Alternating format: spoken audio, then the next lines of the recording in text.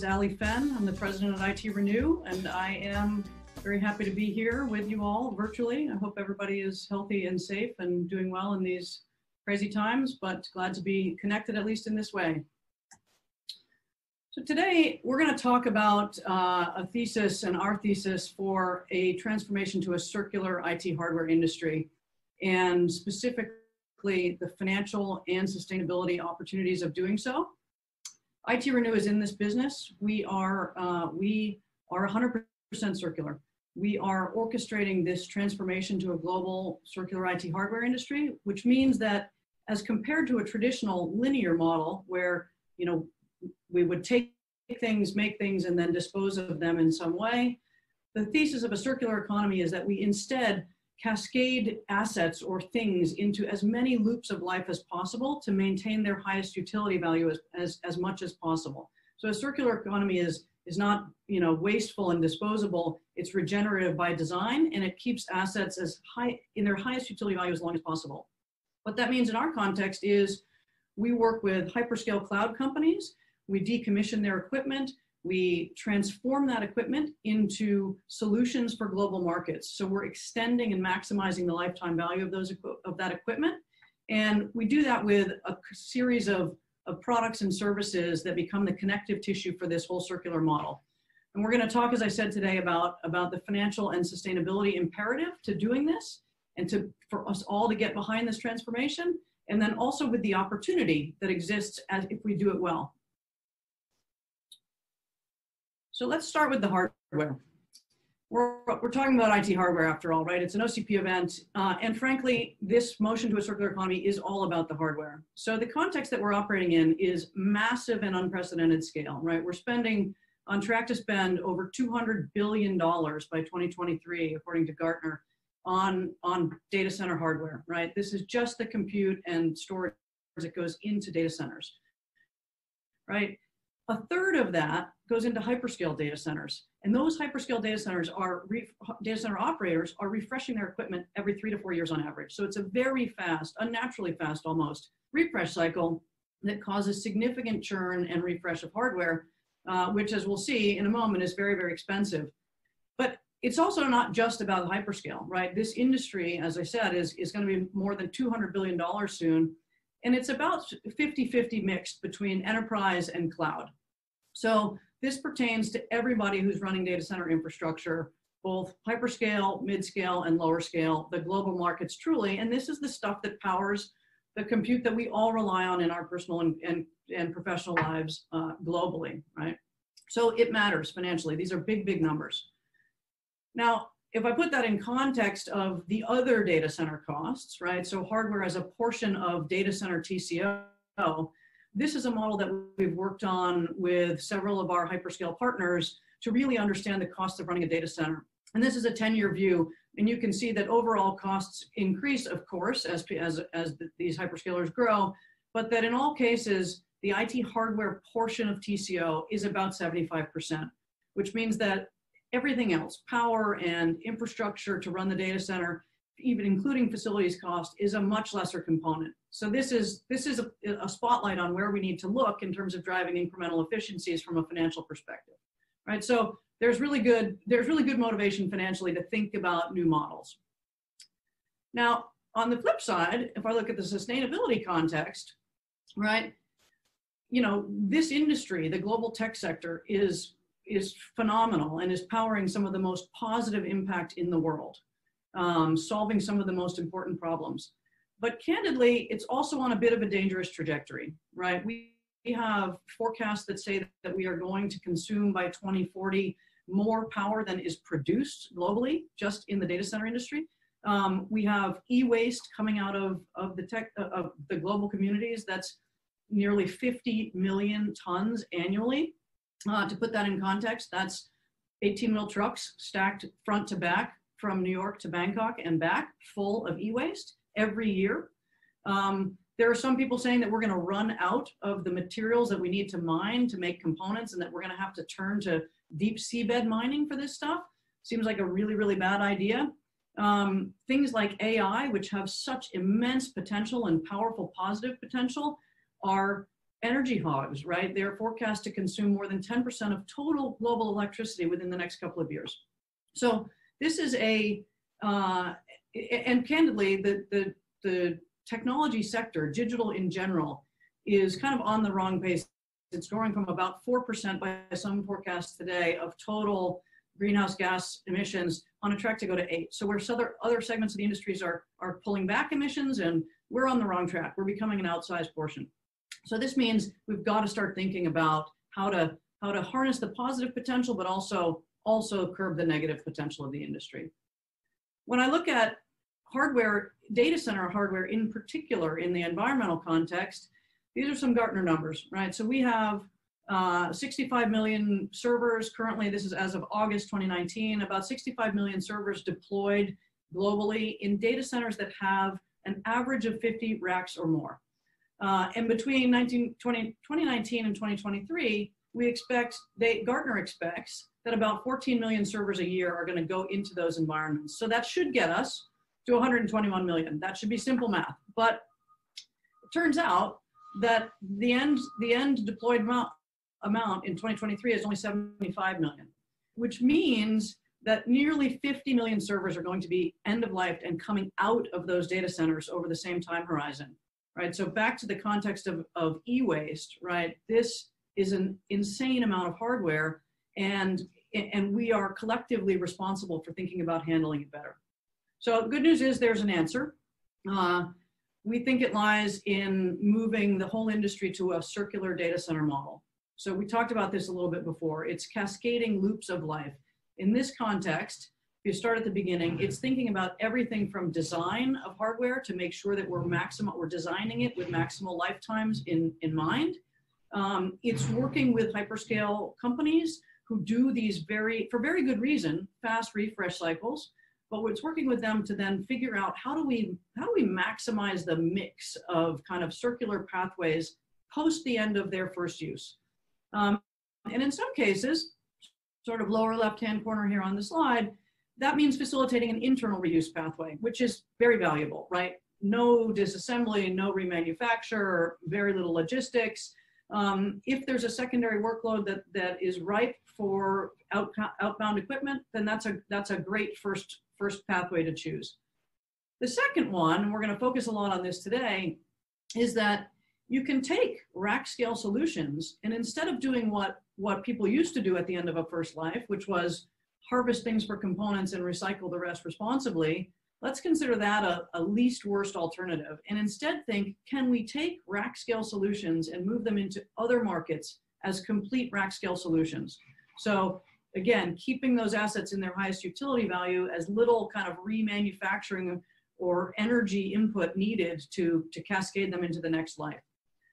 Secondly, for things that are still requiring compute and storage, but not, not in rack scale form factors, there's also a huge opportunity to be more circular than we've been in the past. And that's very specifically edge, right? So there is going, there are some forecasts that say edge is going to be four times as much infrastructure as cloud, massively distributed footprints in all sorts of locations.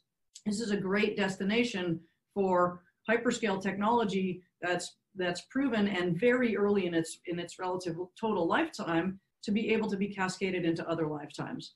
And of course, then we then if we can't do those two things, then of course we we recertify and sell components that are valuable to a variety of secondary markets and always responsibly recycle the residual, right? So so if, again, in the old world, a linear model, you would, a hyperscaler might take equipment and use that equipment and then responsibly handle it at end of life. Now we have all this multitude of pathways that we can deliver with real products and solutions in the middle. And they feed broader global markets like telco, gaming, cloud service providers of lesser scale, retail, enterprise, and so forth. So that's the thesis. Now, I want to go back to the financial opportunity here and starting with the hyperscale perspective if you think about those various pathways I just described, right, they're now focused in on this slide. And in the traditional model, you might have done zero internal reuse, zero remanufacture as rack scale solution, recertify as rack scale solution, zero edge, but you probably did a pretty good job, as the industry has been doing for a number of years, of, of, of selling about, you know, get selling at least the components from about 95% of your equipment and then only having to recycle the residual of that, right? So I call that like a 00095 mix. Now, if you move to a mix where you're actually able to reuse uh, a certain amount, or in this case, not in this case, not reusing any, but just for example, 30% goes into the markets as rack scale solutions, 30% goes in as edge edge solutions, and 30 then you're down to 30% as uh, as recertified components. The impact of that for a data center that's a hyperscale data center that in this case has has starts with a base of two million servers, refreshes every three years, and is growing their compute capacity at about 30% per year with logical Moore's law assumptions, power assumptions, and so forth, the impact to total cost of ownership over 10-year horizon is nearly $7 billion. So these are very, very real numbers. And of course, there are a lot of companies operating at this scale. So if 10 hyperscalers did this, that's nearly $70 billion of potential increase to the, to the value recovery that's possible in moving to and creating a circular economy, right? So again, what this is, is this is motivation on the part of the hyperscalers to help all of us achieve this transformation. Now, on the flip side, like where does that equipment go? If we turn it into racks, where does it go? Well, it goes to downstream global markets. That's the other, the right hand, left hand of this, right? It has to be matched somewhere. And it turns out that those markets are much more blocked and constrained, right? So a couple of examples, right? Um, mid-sized banks spend about 50% less as a portion of, of total expense on, on R&D and on technology as the mega banks do. And so that puts them always at a hamper. Not only are they lesser scale, but they're able to spend, spend less as a proportion to be able to compete better, to be able to make their budgets go further, to be able to innovate and so forth, right? So they're, they're constrained by budgets, right? The hyperscalers are less so increasingly, especially in the, the era that we're living in right now, budgets are increasingly constrained, right? At the same time, you have data creation just exploding, right? So 13.6 zettabytes is forecast to be just the enterprise uh, data that's created and needs to be stored. That's a trillion and a half dollars of spend at current storage economics, even assuming you know Kryder's law changes and so forth. And that's a huge gap. Enterprises don't have that much money to spend on IT. Um, lastly, importantly, part of this is, uh, and we'll, we'll come back to this in a bit, but part of this is really about, you know, uh, the global opportunity, including the developing world. And it turns out that, that the sustainable development goal that the UN has for universal access, where every person gets online, which today means, eh, today there are only about 50% of the people globally are online. If everybody got there, the spending required, there's still a $100 billion gap in information and communications technology. Now that's not all IT hardware, but again, if it's even 30% of the heart of that spend, it's another $30 billion of gap. And so there's motivation on the downstream side of this also to say, can we be more economical? Is there a better strategy here for total cost of ownership and for maximizing the lifetime value that helps us in, the, in our pursuits downstream? And it turns out that when you compare circular hyperscale equipment coming into the market compared to traditional OEM, much more expensive proprietary solutions, that it is very possible to unblock some of those markets to make budgets go much further. This is a case where we have compared uh, our circular solution Sesame compared to a very standard OEM solution. This, this comparison includes a greater number of cores in the, in the circular case, a greater amount of memory in the circular case, a greater amount of storage in the circular case, and it includes fewer racks because of the higher density afforded by, by OCP specifically. Um, so you have a better performing solution, you have a better uh, characterized solution, and even when you include a 60% discount off OEM hardware costs, you're still 41% better in this case, right? So very meaningful impact to the global budgets, whether you're a telco, an enterprise, a tier two or th tier three cloud service provider opportunity here. And people often ask, well, that's fine, but isn't public cloud just more efficient anyway? And the truth is, in some cases, yes, especially at small scale, but in many cases, no. And of course, this depends on utilization, it depends on egress, it depends on a number of factors. But this is a common scenario that we encounter in the kinds of, of customer engagements we're in. And you can see in this case that the, re, the circular option the proven hyperscale technology that's coming out of these data centers and being made into circular solutions is less than 30% of what a similar workload would require in a public cloud instance. So now turning, we, we, we clearly have a financial context that drives motivation. We have opportunity for both the very large hyperscalers as well as the downstream markets to think about this as a financial opportunity in moving to circular. But what about environmental? So ITRenew recently did uh, what I think is, is uh, some, some very interesting research on quantifying the net CO2 impact of, moving, of, of a full OCP compute rack and, and the impact of moving to a circular model. The first part of this was look at the life cycle of everything that's involved in, in a, a rack life cycle, from the mining of materials to mining of minerals to the creation of manufacture of components, assembly of systems and racks, through the use phase, running equipment in the data center, and then across the end of life process of sorting and, and shredding and smelting and so forth.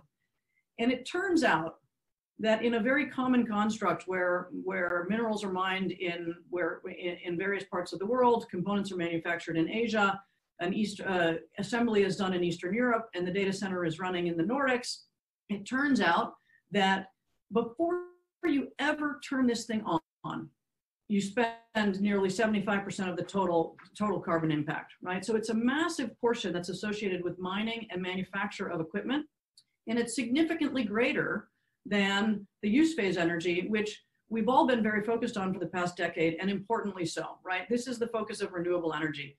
Decrease your, your, your carbon impact of running the data centers. We see this in focus on PUE, we see it in focus on moving to renewables, um, and all of that is essential, but it's it's not the end game, right? We we have to look next to this massive embodied content, which reflects the pre-use and the post phase uh, of of the total impact of our equipment. So the next phase of our analysis was knowing that the, the pre-use phase matters so much. What if we could enable a second life?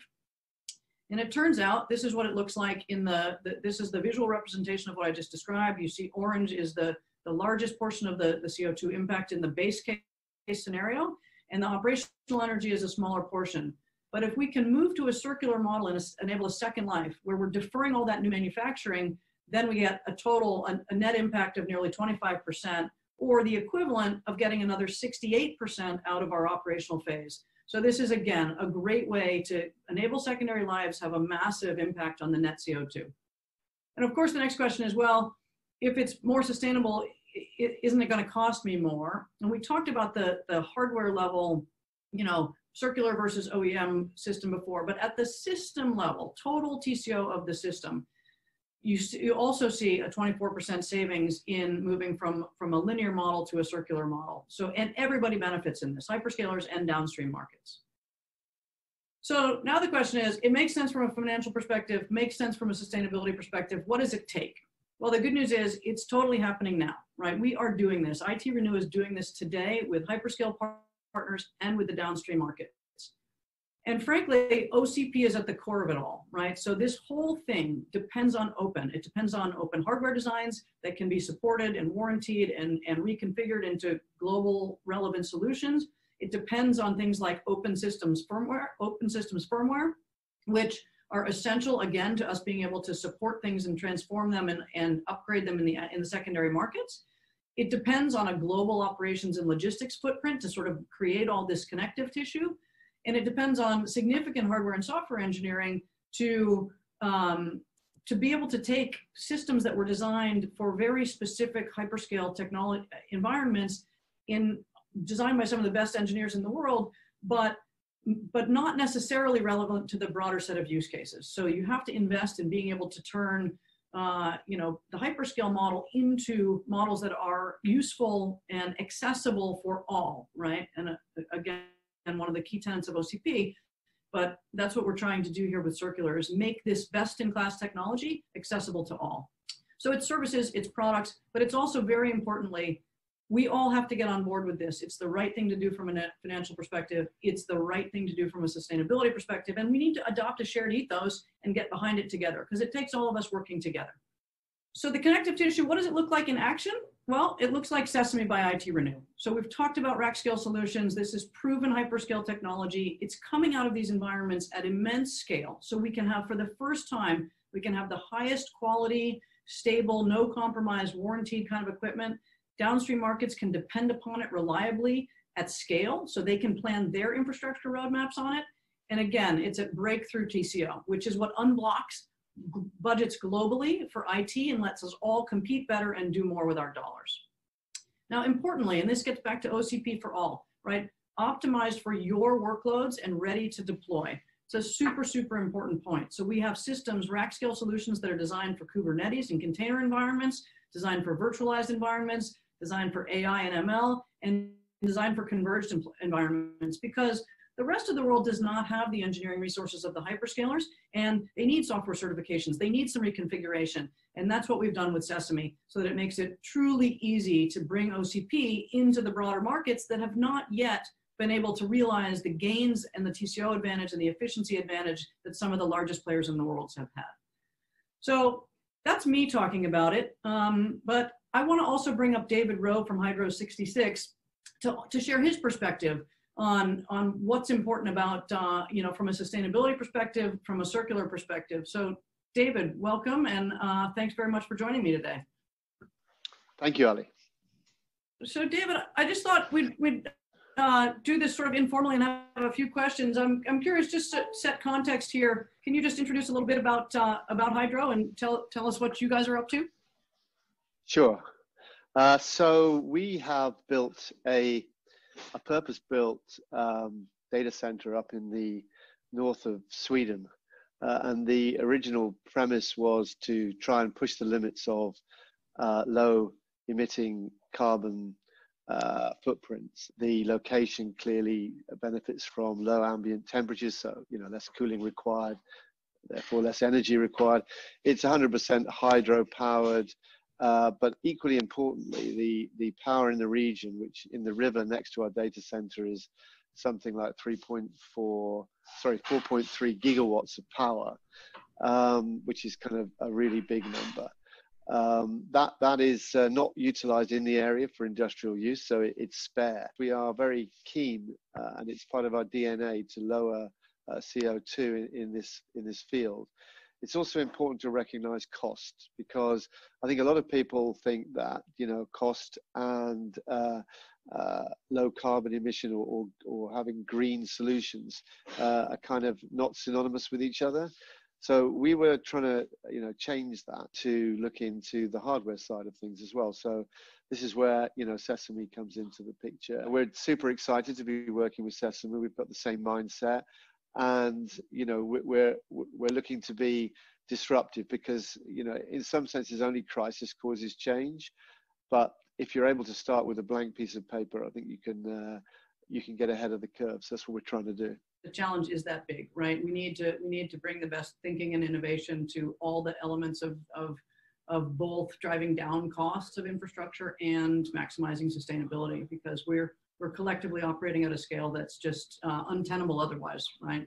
We also have uh, our own plans for launching our own public uh, uh and private clouds uh, within our data center and other facilities. And one of the test products that we're hoping to launch soon is uh, um, something which is more along the lines of artificial intelligence, machine learning, hypercompute, which relates to solving some of the complex equations around protein unfolding, which obviously is important and very uh, kind of uh, topical at the moment with COVID and so on. You you mentioned COVID. Obviously, it would it would be strange for us not to touch on it all here, given the context. What uh, what do you how are you thinking about the the consequence for for data center infrastructure and uh, in in the context of COVID going forward? Whether people are staying at home or whether it's just the inexorable growth of data, compute, AI, ML, all the things that you mentioned uh, in your piece. The next thing, of course, is that more businesses will depend even more. It's a trend that's been going on for a while anyway, but it's only set to accelerate, I think, which is that your business is your IT. It is what's in the cloud. And you're using smarter and smarter tools to get better efficiency. Therefore, it becomes a bigger and bigger slice of the pie of cost in your business. So those two twin things of, uh, you know, crisis in climate and crisis in the economy are only going to increase sharply the focus of businesses in looking at solutions that uh, between the two of us, Sesame and Hydro 66 and others, of course, are going to be providing. Yeah, I would agree. Obviously, these are strange and unprecedented times and, and have some very serious, serious challenges ahead of us. But, um, but I do think that it's going to be ever more important that we think about rebuilding in sustainable ways and that we do so most cost effectively. And, and there will be rebuilding and there already is, and it is increased demand on IT infrastructure. So um, hopefully we can, we can move forward with the, with the transformation and, and help everybody get back to business. Um, I guess last question, what, what's most, what's most exciting to you about sort of the future of this next chapter of data center innovation? Well, I think it's the idea that it becomes mainstream. Now, we, have seen already to an extent that in Europe, for example, you know, the vast majority of data center builds and uh, server co-location has traditionally been in uh, the kind of city centers, Paris, London, Frankfurt, Amsterdam. Now we know that they're actually running out of power in these regions. So for example, Amsterdam, there's a moratorium on any new data center build. There's real issues there with uh, the climate lobby. Um, but along come the, the, the, sort of hyperscalers, Google, Facebook, um, Amazon, Microsoft, etc. And guess where they're building? They're all building up in the north of Sweden or uh, in the Nordics. So it's kind of creating almost uh, in a in a natural, automatic way the the center of uh, the data sphere, if that's a word, is is shifting up to the Nordics and creating a kind of Nordic super cloud because it's highly scalable, whereas it's not in the other regions. Um, and the climate issue is a big thing. Great, thank you. So I guess I'll just um, uh, close up with what, if you had to summarize, you know, obviously we're here talking about circular, we're talking about Sesame, we're super excited about it, we're super, super excited about the partnership with Hydro 66. If, if you had to summarize Sesame in a, in a, a sentence, what, what's, how are you guys either using it and, and most excited about its potential? Well, we're, we're using it uh, to address the issue of driving costs down. Uh, and that means that our end users will benefit from that, uh, be they co-location customers, cloud customers, infrastructure customers. Uh, and there are very few people out there that are able to do this at scale. And Sesame is one of the few people, because partly through their history, that have uh, landed on their feet in this space uh, very convincingly, I think. And uh, we're really looking forward to uh, developing the relationship with Sesame, buying more stuff from Sesame, driving the cost of ownership to customers with Sesame. Uh, and the fact that it is part of the circular economy is as good as it gets.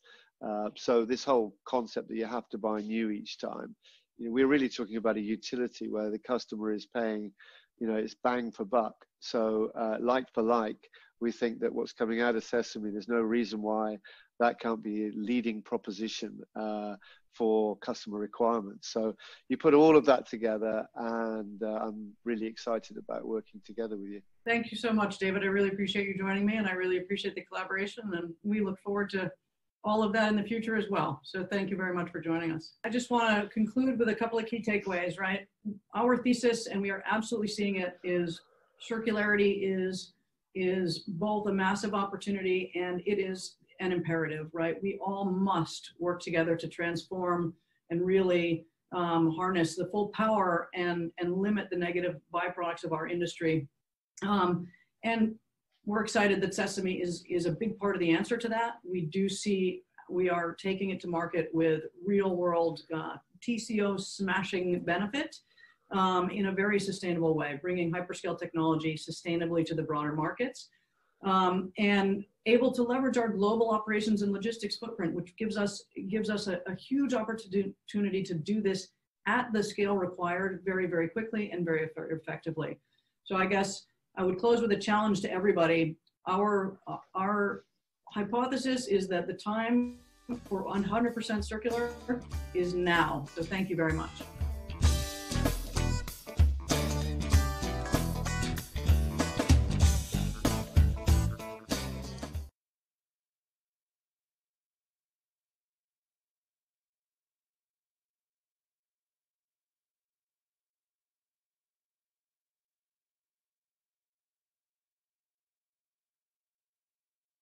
Right. I think I'm live now for a, a minute or two to answer some questions here. Um, uh, just very quickly. So thanks everybody for joining today.